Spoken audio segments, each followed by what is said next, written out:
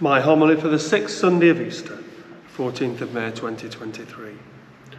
Today's Gospel is part of what is called Jesus' farewell discourse, delivered at the Last Supper just before he died. So it's like his last will and testament, and therefore something we should consider carefully.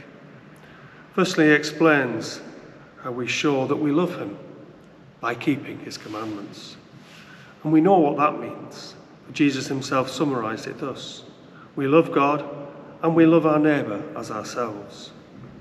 The three pronged love of God, neighbour, and ourselves that make love whole and complete.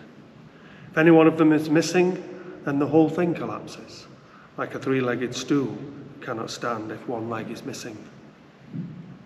Then Jesus goes on to speak about who he is going to give us another advocate to be with you forever, the Spirit of truth.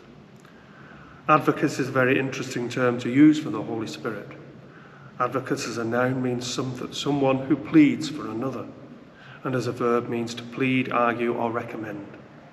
The Holy Spirit is on our side, recommending us and supporting us, and we know him, says Jesus. Well, he certainly knows us, for he is with you, he is in you, says Jesus. Just think about that. The Holy Spirit is with us and is in us. That must mean he is very close to us.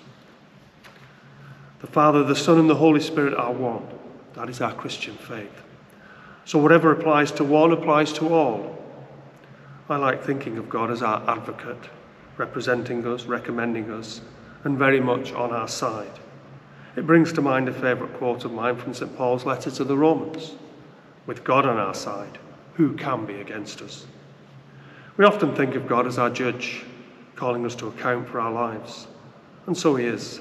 But that's not the whole picture, for he is also our advocate, one who pleads our cause and represents us.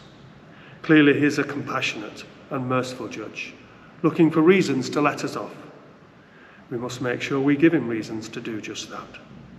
And I think charity is a key area where we can do that, giving of our time, our resources, and ourselves. At the heart of our faith is Jesus, giving himself on the cross. And he still gives himself today in Holy Communion.